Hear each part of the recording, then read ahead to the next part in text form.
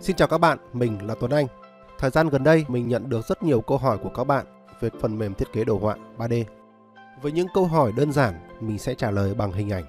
Với những câu hỏi phức tạp, mình sẽ trả lời qua kênh Vblog này. Nội dung của kênh Vblog ngày hôm nay của chúng ta đó chính là những điều cần chú ý khi bạn vẽ SketchUp.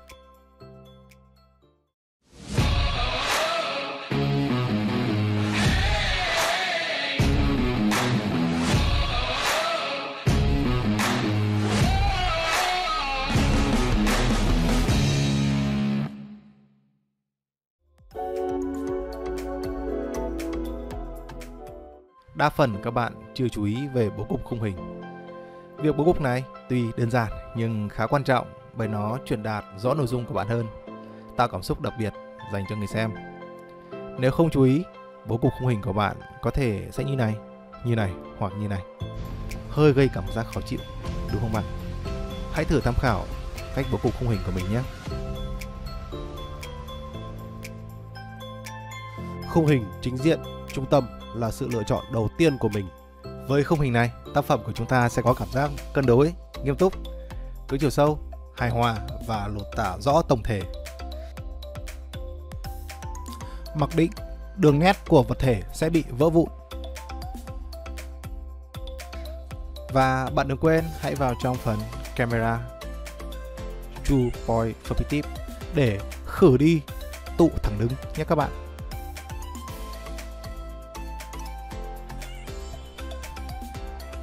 Khung hình tiếp theo là khung hình góc. Khung hình này lấy điểm góc làm nội dung chính. Chúng ta có thể chọn góc trái hoặc góc phải. Khung hình này giúp ta nhìn rõ được đặc điểm của nhân vật nhất. Tôi thường ưu tiên khung hình này khi làm ngoại thất.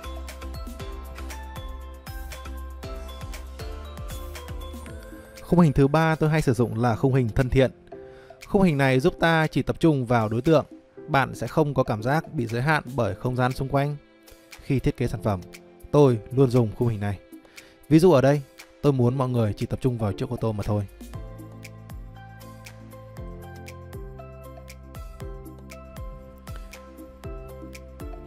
Khung hình cuối cùng là khung hình chính diện một phần.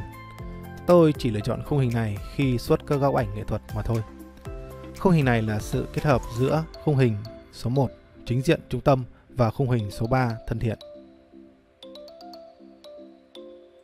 Ngoài ra, bạn cũng cần phải chú ý tới một số nguyên tắc trong nhiếp ảnh như quy tắc 1 phần 3.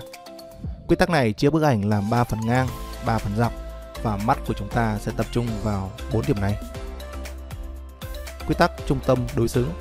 Quy tắc này chia bức ảnh làm 2 phần ngang hoặc 2 phần dọc. Lúc này khung hình của bạn sẽ cân đối và có chiều sâu hơn.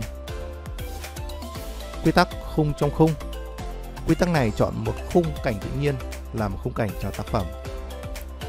Quy tắc tỷ lệ vàng, vân vân và vân vân.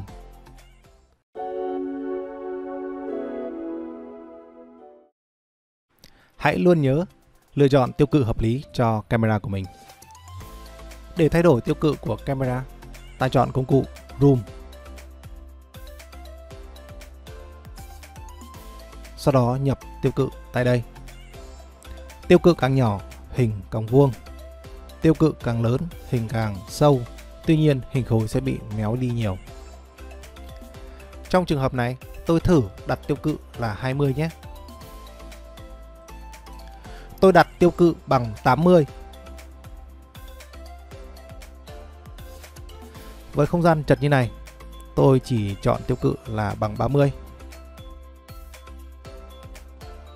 Sau đó tôi kết hợp với mặt cắt Bây giờ khung hình của bạn đã ổn hơn rồi đó.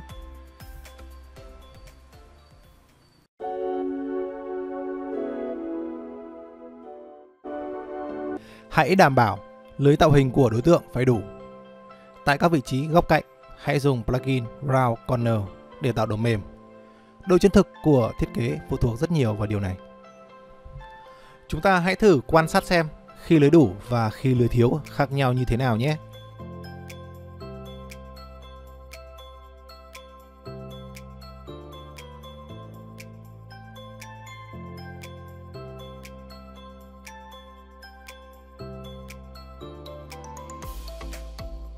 Và đây là chiếc lâu đài mà mình vẽ bằng phần mềm SketchUp.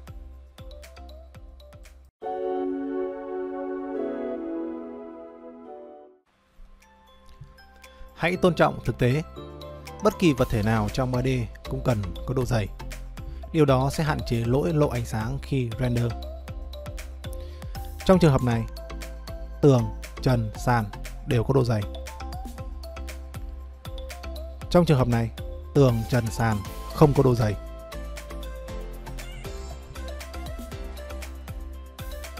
Hãy cùng nhau quan sát và so sánh nhé.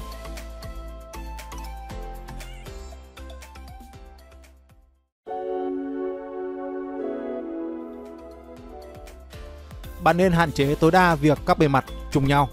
Điều này sẽ gây nên hiệu ứng vật liệu nhấp nháy khi làm việc với video.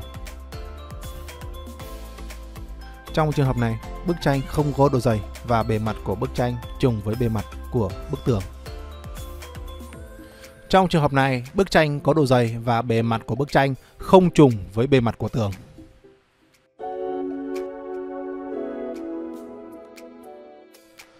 Có thể nhiều bạn sẽ quên mất điều này. Nếu có mặt phẳng làm nền, ánh sáng từ sun và sky, nói chung là ánh sáng môi trường sẽ được bật nảy và bài nội thất của bạn sẽ được đủ ánh sáng hơn.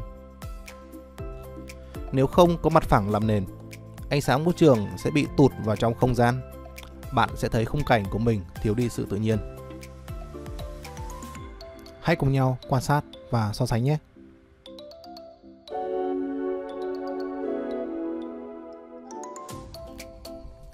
Để mọi thứ trở nên chân thực hơn, gần gũi hơn, có thể tôi sẽ làm cho mọi thứ thiếu đi cái sự ngăn nắp một chút như xoay cái đối tượng này xoay cái đối tượng này và cả đối tượng này nữa. Đối với những cuốn sách cũng như vậy mọi thứ sẽ trở nên gần gũi và thân thiện hơn. Bạn có thể xoay xoay ngang xoay dọc copy và bố cục một chút.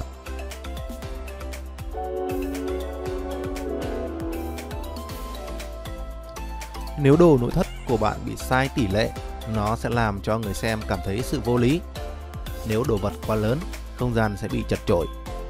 Nếu đồ vật quá nhỏ, không gian sẽ bị trống rỗng. Trong trường hợp này, chậu cây của tôi đang có kích thước chiều cao là 570. Bạn sẽ thấy không gian bị ảnh hưởng lớn, rất chật chội. Hãy dùng công cụ Tab Measure Tool để đưa toàn bộ thay đổi về kích thước 350 nhé. Đó, bạn đã thấy có sự hợp lý hơn rất nhiều rồi đúng không?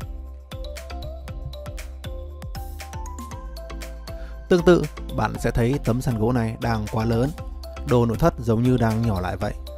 Kích thước của một tấm đang là 290mm. Hãy cùng đưa về kích thước là 140 nhé.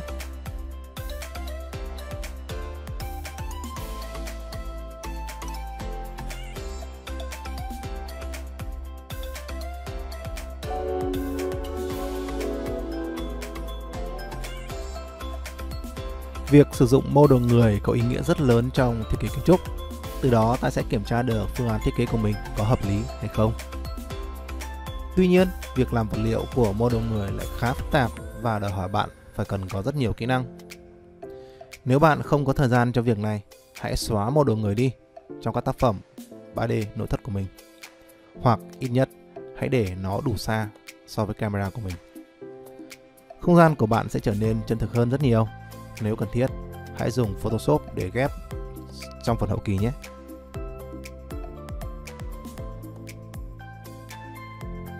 Hy vọng với chia sẻ của mình, bạn sẽ làm việc tốt hơn với phần mềm này. Nếu muốn mình làm về chủ đề gì, bạn hãy comment bên dưới video này nhé. Nếu bạn cảm thấy video này hữu ích, hãy like, share và đăng ký kênh của mình nhé. Xin chào và hẹn gặp lại các bạn trong các video tiếp theo.